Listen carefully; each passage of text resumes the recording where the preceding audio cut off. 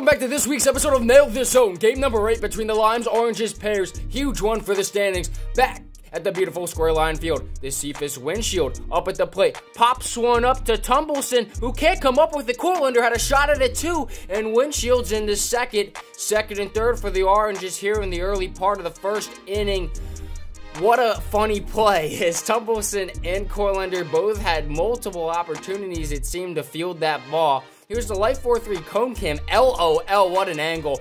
And then we're going to go to the main cam. It's going to be popped up once. Then a second opportunity off the leg of Tumbleson. And then Coolander almost comes up with it. And then Tumbleson almost gets it on like the third try.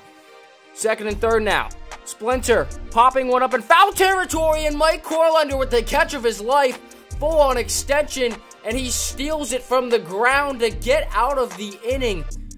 What a catch, a top 10 catch indeed and Tumbleson is loving it. Just look at the extension from Mike Coolander in the field.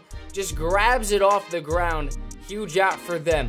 Bottom of the first. Now the Pears are cooking. Barney Buckapples over the head of Windshield, who makes the catch. Defense coming in again in the first inning. It's the Cephas Windshield, who's been solid on the mound defensively this year, making a play in the field over the shoulder and grabs it, corralling it in for the out and gets out of the inning. Top of the second. Splinter throwing to Coolander, who takes it the other way and is digging and is in safely second and third for the Limes, the second extra base hit of the year for them. Second and third, fly ball to Barney Buckapples, who catches it, and Mike Coolander flies out. Orange is out of it. A lot of missed opportunities offensively thus far. Now the Oranges with a shot first and second to Cephas Windshield goes and takes one. There's going to be a play at second and Coolander throws it away. Windshield's going and hurdles over the throw. It's going to bring in three runs. A 3 nothing game for the Oranges and a huge momentum swing. The first run scores as Windshield touches second and then goes to third and home to bring in the other two and a absolutely massive play for the Oranges to snag the lead and Windshield is pumped up. Orange is adding more runs and then it's going to be Windshield who elevates a riser in the deep left field on a 3-2 count which means the bases are cleared. It's the first ever double in league history. Bases clear because of the 3-2 count. It's 8 nothing Oranges top of the third. Limes now with the bases loaded, and the ball is going to be high. Mike Coolander RBI walk. And then Brian Blue at the dish.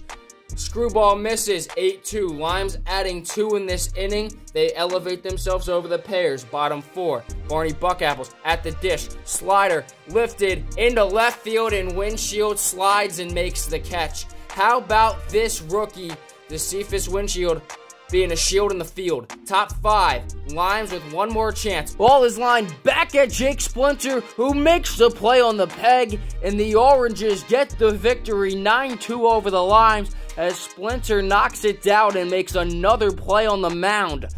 We go now to the bottom of the fifth. Pears Phil Nerf in the hit for some reason. Brian Blue underhands it like it's softball, and Phil Nerf on his first ever plate appearance is going to double. The Pears, not much offense so far, getting something going. It's going to be Nerf back up again, in for Tumbleson, and the inserted Christopher Joywalk cannot make the play on it. The bases are loaded. And then a strikeout. Oh, Brian Blue gets out of the bases loaded jam on Barney Buckapples. And the Limes beat the Pears, and the Oranges do as well. And the standings are in shambles. Wow, a great game as we head into the final slate. Anyone can get the one seed out of these three teams.